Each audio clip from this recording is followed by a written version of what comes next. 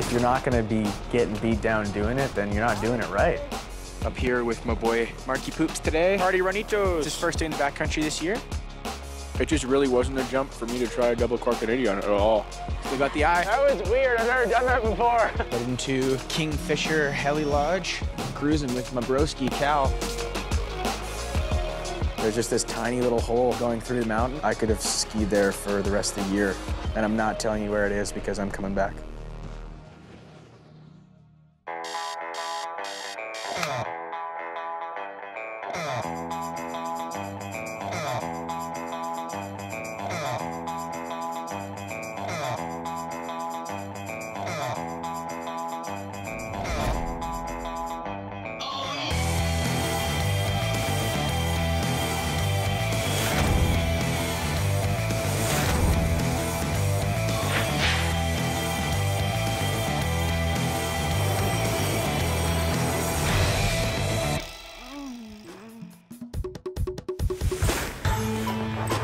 Kind of consider myself a bit of a fair weather skier. Definitely getting up in the dark.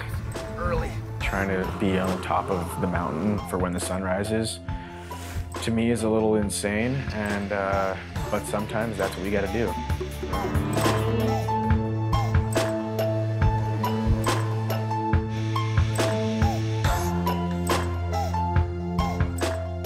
Well, another gorgy day in paradise. We pulled in this morning and this zone was just beaming up here with my boy Marky Poops today. It's his first day in the backcountry this year. Dude, man, Sean P, dude. I don't get to snowmobile too much, so it's really fun when I get out, especially with Shawnee P, who's really good in those mountains. We're gonna fire it up. We're gonna get her started uh, off on the right foot. We got a kicker ready and uh, some good shred laps. It's gonna be a fun day. Ooh, one. Smell you later. Mark's primarily doing contest all year, and I'm primarily in the backcountry all year. He's a snowboarder, I'm a skier, so we're doing completely different sports. But at the end of the day, you know, he's going sideways, I'm going forwards. We're both out there for the same reasons, shred pow and have fun with your buddies.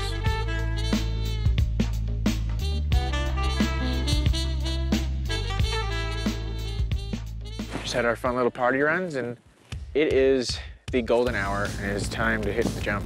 Jump is in perfect light right now, so we are uh, gonna have ourselves a nice little session.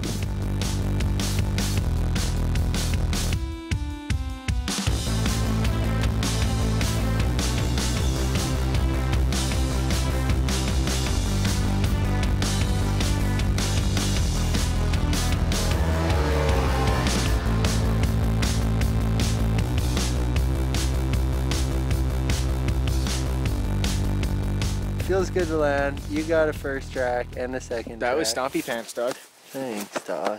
Nice front sevy. Me and Marky are gonna play a little game. We have to both do the same trick. Now we're gonna both Dude, do double cork. double cork What 1080. are you? Where are you grabbing?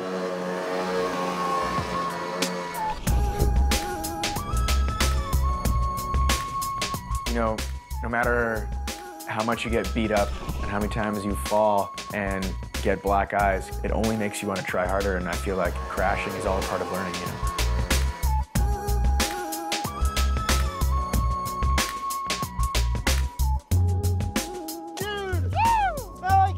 Ah! I know. Looking sharp. That was buddy. dope.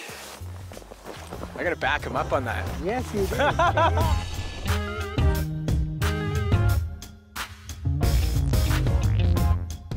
That was a double flare. That was weird. I've never done.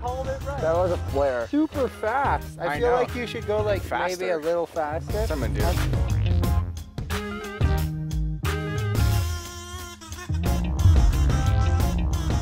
Got snow here, got snow there. And look, still got the eye. You like you guys edit out like that, like when I was crying before, right?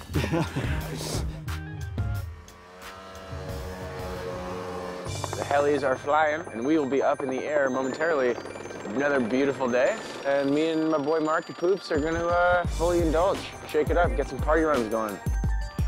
You know, Marky's a sledder in training. He's still obviously learning out there how to use the machine, and I think uh, I think he'd much rather use a helicopter, and I have no problem with that.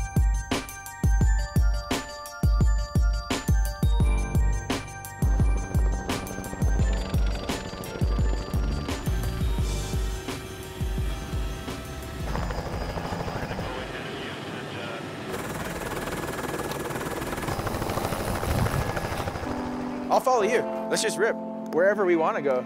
Drop! You! Yeah, buddy.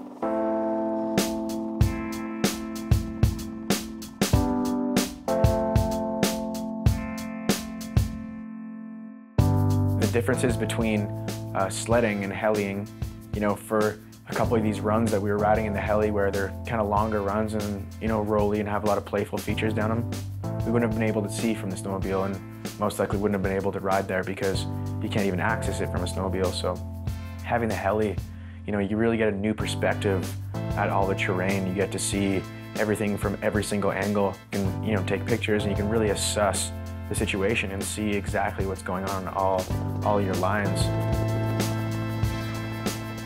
The helicopter is, uh, is huge and makes for better shredding and, and more lines you're gonna be able to ski in a day. Let's just party on the shoulder and we'll just stay close to each other and groovy. If you want to go for it, you can go for it. All right, let's give her. It's been such a cool early season being able to spend all this time with all my snowboard homies and uh, it's really put a new perspective on how I look at terrain and how I can ride it. Stoked for uh, the rest of the season with new perspectives.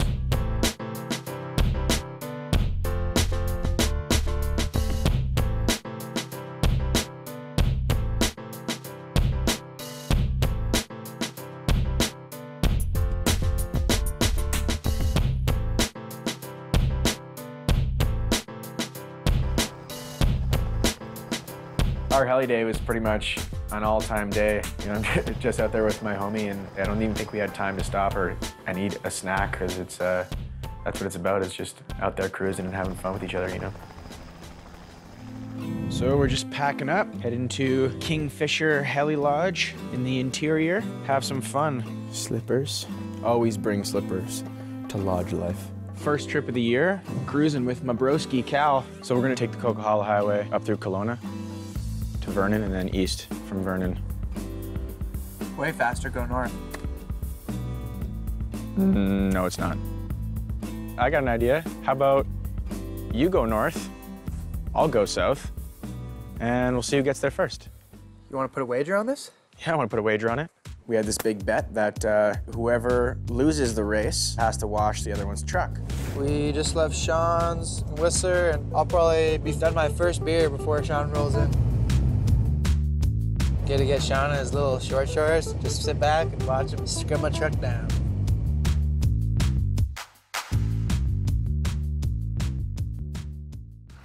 Hello? Well, we just fueled up, and then as soon as I got back in the truck, um, took service brake system, and I went and checked, and my brakes are, my brake fluid's leaking, so. I'm gonna be scrubbing his dirty truck. Thumbs down.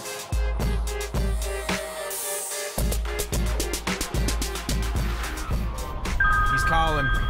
Cal's calling. Uh, I think I think you're gonna win. Why's that? My truck broke down. What? Um, so congratulations. We made it to Kingfisher Heli Lodge late last night. Cal, sure enough, ended up here at some point last night and gonna get up there, see what the terrain's all about. We're excited. Flying around in uh, some pretty heavy clouds. We found the sucker hole, managed to fly through. He's got us to this golden little zone. The snow is very powy, little zone called Talk. I love Pillow Talk, so I think I'm gonna like this run.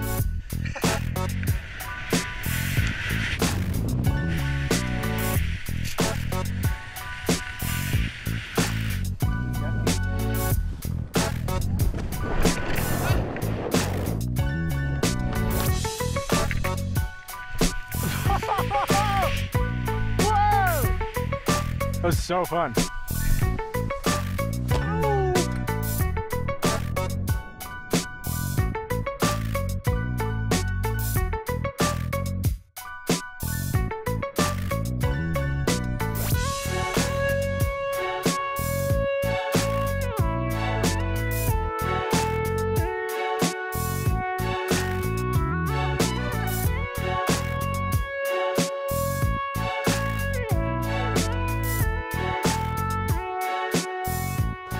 Flew by this zone, all of a sudden this little archway in the mountain where you could see light coming through this rock. And so I dropped in, had to duck through the cave, pointed it out, and was on top of another pretty sick line and then aired off and then almost goal posted a, a tree right to my shoulder, but just landed right beside a tree. And then uh, the guides told me that no one has ever skied it, so I decided to name it the Pee Hole.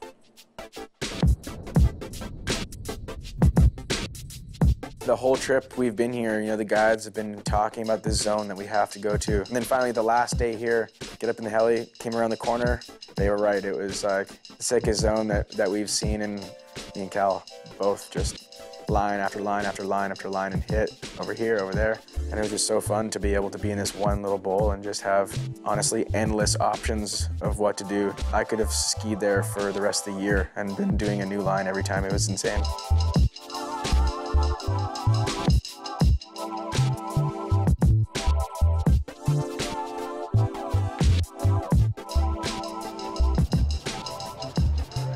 Yeah, yeah, the tires and the rims. A lot of dirt in there. I must say, Cal, it feels pretty good to win. Soak it up, bud. I am.